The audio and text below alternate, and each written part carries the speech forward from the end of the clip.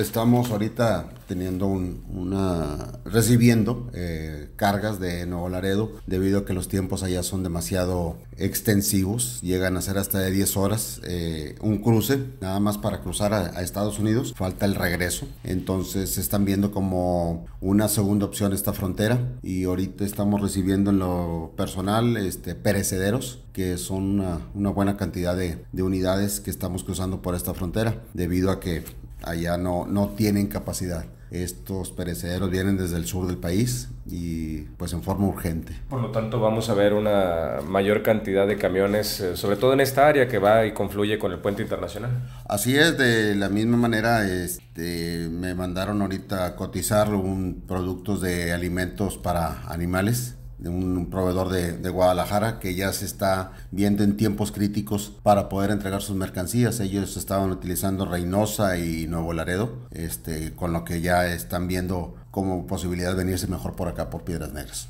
¿Cabe la posibilidad de que también se llegara a saturar esta frontera dado eh, esta nueva carga? Si vemos este, este flujo y ellos ven que lo benévolo que son los tiempos en esta frontera, si nosotros estamos haciendo ahorita promedio de hora y media, dos horas, cuando son las aquí en el, área, en el área de la avenida industrial, las bodegas, es en lo que estamos yendo y viniendo ya con su, con su remolque vacío. Eh, podría incrementarse si ellos ven que esta es una buena opción de tiempo, más sin embargo creo que es beneficioso para esta frontera y creo que debemos de aprovechar esta, esta coyuntura para ofrecer eh, servicios, para promocionarnos y traernos este, más, eh, más esta actividad comercial.